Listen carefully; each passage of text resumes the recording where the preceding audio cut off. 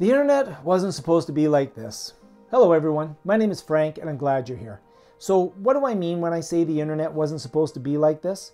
I'm speaking of my experience around what I thought the internet would be and what it's actually become. In some ways, it's become a wasteland of disinformation, mindless entertainment, and while this is an overly pessimistic outlook, and let me be clear, I love the internet, and I think it's a great resource if, if you know where things are to be found, if you know where to look. Uh, what, and that's what this video is all about. This video is all about uh, finding good resources on the internet. Plus, a little mindless entertainment always works for me. But despite, you know, being a little bit negative about the disinformation on the internet, despite my rant, I remain generally optimistic that the internet is still the valuable tool that it was intended to be. So stay tuned and in this video, I'll talk about how as learners and teachers, we can use the internet in a far better way. Uh, the way it's potentially intended to be, and the way where it can add huge value to our learning and to our lives. And I'll show you some places on the internet and how to use the internet in ways that many teachers, students, learners, people may not be aware of at all, or maybe just need a reminder about. So first, maybe a little bit of a history about myself and my you know, history with the internet in the early days. I've been teaching postgraduate programs for over 20 years, and part of that was because of my interest in technology. I was a very early adopter of the public internet. Back in the early 1990s, I used to read a magazine called The Whole Earth Review, which was a great magazine. It was a resource on self sufficiency, technology, and ideas. And as a lifelong learner, it really hit all my buttons. Uh, combined with the material in other magazines like the Hacker Magazine 2600, the feeling was that the world was changing and that we were entering an era of free flowing information and connectedness of ideas. So I started my online life by joining the WELL, the Whole Earth Electronic Link, and it was really the first public node on the internet. Following that, I became involved in bulletin board BBS systems, like uh, we had a 64 line Galacticomm system that acted as an early ISP for the area where I lived. Then the internet started changing uh, when the internet started becoming commercialized, we started to see how it moved from a collaborative platform for the free exchange of ideas and knowledge to a way of turning commerce into its digital form. Now, I don't want to be a crusty old guy talking about the good old days, but I sort of am. You know, the reality is that the fast growth and adoption of the internet into our daily lives wouldn't have even happened if it wasn't for the move that it took towards commerce and entertainment. I still remain nostalgic for the free flow of ideas. So a more sinister realities actually happened with the internet that's created us, uh, caused us to become confused. So we've become confused. There, there was an old saying, just because you read it in a book doesn't make it true. So just like the printing press gave people voice, the internet did that as well in a new way. But not all of those voices were or are truthful or even sincere. There's no governing body, there's no editors, there's no control over the internet, which is both its strength and its weakness. Anyone can say anything and present it as fact. Now, wait, wait a second. What's this channel all about? Is it, is it about internets and stuff? No, it's it's not about ranting against the internet. It's about using technology to learn and teach more effectively. So let's talk about that. Over the past 20 plus years, when I ask students to research topics I'm finding more and more of the students turning towards the internet and doing searches to find the answers. Now, this is a bit of a concern because, the, because of the problems I talked about earlier.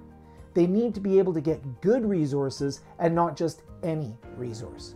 So in this video, I want to show you a better way of using the internet, a better internet even. An internet that is hidden from most, or rather just hiding in plain sight, but just unknown to most.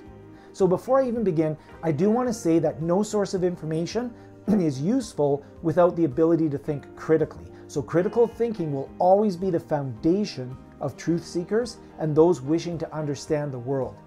Now, what is this hidden internet? What am I talking about? Let's go have a look at how we can use the internet for effective research, where we can find effective and useful information on the internet, and how the connected network that spans the globe, the internet, actually does contain a lot of excellent information, but it's not as simple as doing a quick search.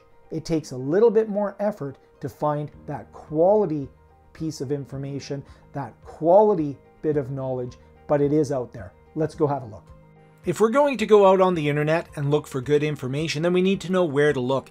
A regular search on the internet is going to yield a number of advertisements. It's going to yield uh, links to social media, really try to engage us with that consumption of information.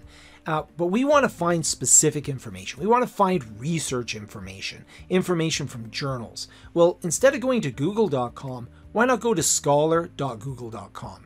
This particular website will specifically search uh, various articles that are peer reviewed and really gives you a richer, more um, scientific, if you would, or more accurate research based set of results. So if I go in here and I look at something like data for education, I'm going to go in and when I go to uh, data for education, you'll notice that I can find articles in here. There's quite a few articles in there. There's some academia websites in here. And I look through here, for example, data mining for education. That's actually a topic that I'm quite interested in, in terms of finding what's happening with students and doing some analysis there. And you'll notice that if I go in here, for example, to um, data mining for education, this particular PDF will come up and I'll be able to actually, in many cases, go through and even read some of the abstracts or even read the entire article. If I go back, you can see I can sort by specific uh, articles. So let's say I want to look at everything since 2020. So I can start shaping the data that I'm seeing. I can sort by date. I can go in and even create an alert so that I'm notified of any new articles that come up. So this is a great area. I can even build my own personal library of articles in here. Now, in addition to Google, we can also go to our, I'll just bring up actually the Bing one first. So if I come up here, I can go to academic.microsoft.com. And with Microsoft Academic, I can go in, there's a number of articles and publications. You'll notice that I've logged in, I've created an account there. And you can create the account for free. You can also sign up if you are an academic researcher or if you do any type of research, you can put in uh, your um, identification there as well. And if I go underneath here and search for a topic, let's do data, whoop, data in education again. You'll notice that this also returns a number of articles in here. You can see where my topics are. I can choose a timeline in here. So let's say again, I'm going to go back and say I only want from 2020 to 2021 so I can put a date range in there and you can see here I get a number of articles in there around these particular uh, areas. Let's say for example I'm really interested in data science or big data. I can start shaping again the results that, that I get. But once again, I'm not getting advertisement. I'm not getting anything in here that's not academic, that hasn't gone through the peer review process of a journal. I can also specify, I really like the Microsoft one. I can look at specific journals. I can go in and look at institutions. I can even look at conferences. So there's a lot of really valuable uh, information that I can get just by going to academic.microsoft.com, signing into an account, and once again, you can generate a reading list. So I find this really happy. Uh, ha happy. I'm happy that I found this, but I find this really helpful as well as making me happy. I, I find that what I can do is while I'm teaching, if I have a topic that I'm interested in, maybe the students spark something in my in my mind, I can just quickly go in and do a search and put it into my reading pile for when I have my my office time. So very, very handy there as well. So while Microsoft Academic and Google Scholar are fantastic open public uh, areas that we can go in order to locate academic journals. Not all those academic journals are necessarily available as open documents. Some of them you have to have permission to go into. Well, if you go to your local library, so I'm just going to go to the Calgary local library, they actually have access to a number of academic journals and peer-reviewed journals. So if I go in here, I'll just go in and I'll go to the digital library. Now, the digital library is wonderful. We are very fortunate here in Calgary. We have one of the most beautiful actual physical libraries you can ever imagine, the Central Library. But underneath here, I go to my digital library, and you'll notice that underneath, there's all sorts of cool uh, topics here, but you'll see that we can go in and we can look for academic journals. So you can explore by format if you hit academic journals. And let's go ahead and do my same search. We'll do data in education. And if I do a search on here, it'll generate the search for me. And if I scroll down, you'll see that I can go into Academic Search Premier. I also have my provincial Alberta research portal for mostly history and ge uh, genealogy. Uh, so you'll see that depending on the subject in there. But I really want to go into the academic search. So I'll go into the academic search and notice that I can now uh, access the academic search premier for different journals, magazines, trade publications, you know, real substantial information here. So when I go in here, you'll notice it'll bring me to the the EBSCO host, EBSCO host. I don't know how to pronounce it. I just I've seen the logo about a million times, but I can go in here and I can go and add, you know, my search data in education.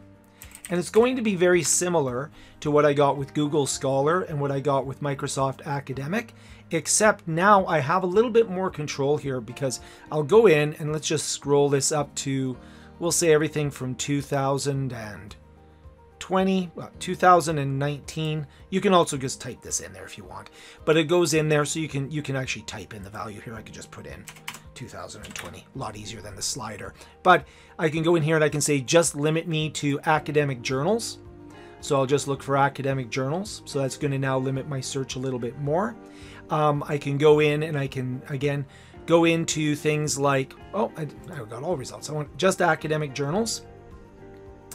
And then, so you can see, it'll just pull the 44th, only a, a mere 44,000 articles for me to read. But if we go in here, you'll see that this, this one here gives me an abstract on it, gives me information about it.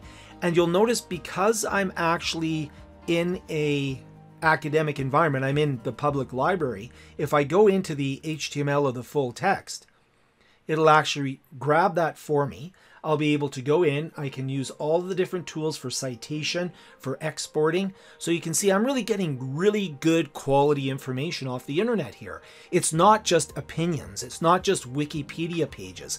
I'm actually getting peer-reviewed journals, you know, by, by professionals and experts that are here that are able to give me information. I can read the abstract to see if it really meets my needs, if it's what I'm looking for. You can even, this is pretty cool, you can have it read to you in a number of different accents as well, which is kind of neat. So there's another way that I can make the internet, internet even more effective. Now, if I'm on the go, if I'm, let's say I'm traveling around and I'm on the go, well, let me show you another way that we can access these same articles, the same rich vein of information that we want to look at and and maybe while I'm on the go I just want to do some collecting of things that I'm going to read a little bit later on. So here I am now on my iPad and if I go down there's an application called Researcher. And what Researcher will allow me to do is go in and grab a number of different journals, for example, Nature, very popular journal there, and this will give me abstracts and updates on everything that is happening for this journal. So you can see just 17 hours ago, there was the bright lights drew a plague of grasshoppers to since that's horrible. So Las Vegas got a whole bunch of grasshoppers. But you can see here that I'm able to go in, I'm able to look at different articles, and we're able to see which ones might be of interest to me. So let's say, for example, I'm interested in this particular article. I'll just choose it for whatever reason. I'll grab that article there. And you can see here that this article here, um, I'm not going to be able to go in. I can read the abstract, but what I can do is I can copy this DOI number. And this DOI number is now copied to my clipboard. Now what I'll do is I'll collect this in my notes or something, and then what I can do is those notes will synchronize with my computer so I can then go into those academic environments such as the library, Google Scholar, or the Microsoft Academic, and I can put the DOI in there in order to retrieve this article. And most of the time I'll do that either through the library at the academic institution where I work, or I will do that at the um, I will do that at the library. Now this one particular article here you can see, I can actually read most of the article, right? So I can see a whole bunch of information here. Um, I can also mail it to myself. So if I want to follow up on this and read more about this, I can go in and I can just hit the, the mail icon and send it off to myself. I don't normally do that. I normally have another way of collecting it through a particular little program, a note-taking app that I have. But the, the most important thing there is it's yet another way of making the internet more useful. So there you are. I hope that was a very useful video for you and that you'll consider not just doing a regular search when you're out there looking for things, but actually going a little deeper and asking yourself, what am I looking at? What am I actually searching? Is this legitimate research? Is this legitimate information?